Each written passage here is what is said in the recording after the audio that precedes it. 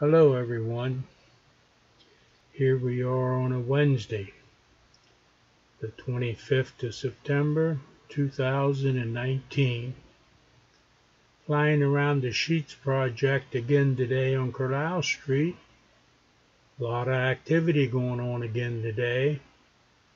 They got those pipes buried in the ground back there and they're starting to uh, backfill them. Looks like the water company or somebody's out there right on Corral Street uh, putting the uh, finishing touches on that hookup there.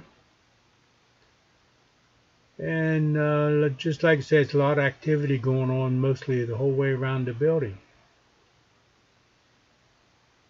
Beautiful day for flying a drone today. Just a little breezy, but uh, temperatures were decent and uh, humidity level wasn't too high, so it's a nice day for drone flying.